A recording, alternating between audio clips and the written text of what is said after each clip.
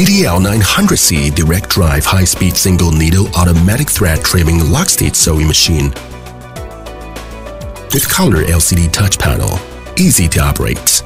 The stepper motor drives the double knife thread cutting to ensure that the residual amount of thread is suitable below 3.5 millimeters. The stepping motor controls the digital adjustment of the stitch length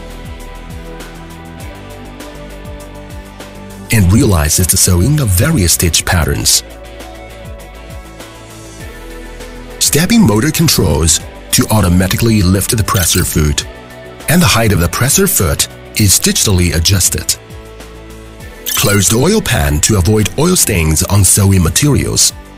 Suitable for sewing general, thin and medium thick materials.